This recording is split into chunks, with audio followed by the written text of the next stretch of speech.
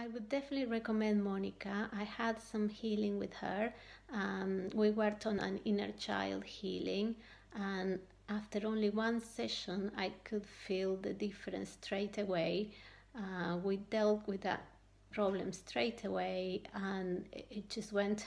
Um, I felt so much better, and the way I acted as well towards it was different.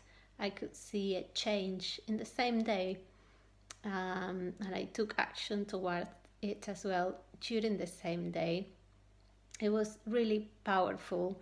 Um, no matter how many books I read or courses I did in the past, um, nothing was so powerful and profound as having this session with her. Um, she's very determined to help and to to be there for you, and you can feel that in the session. And she's very caring um, and she's really interested in really helping you out. Um, she's a very good listener as well, and, and I felt safe with her. So I would highly recommend Monika.